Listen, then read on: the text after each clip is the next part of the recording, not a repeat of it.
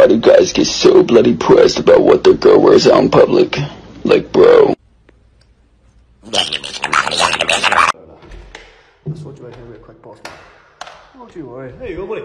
There you go. One hot and ready pizza, five dollars. Who could that be? Bagel delivery. What? I didn't order.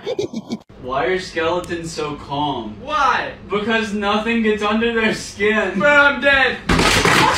It's 3.50 in the morning. We're about to make some spaghetti. We gotta be really quiet. Logan, pass me the bowl. What the fuck? It's all flowers. It's a girl.